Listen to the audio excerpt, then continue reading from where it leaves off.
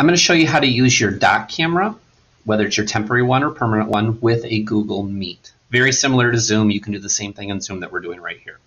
So the first thing you have to do is plug your doc camera into your Chromebook or your device and go on with your meeting as you normally would. But when you're ready to share your doc camera, maybe it's a piece of paper down on the table or desk or something, you want to share it, all you need to do is go to these three dots right down here in the bottom corner, then go up to settings right here, and you're going to change it on the video section right here. You just need to change which camera you're using.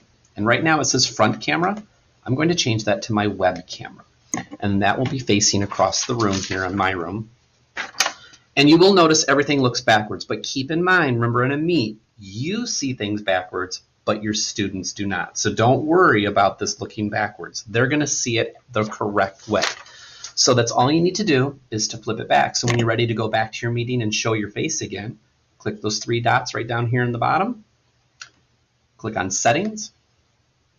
Go back to your video. And you're just going to change your camera again back to your front camera.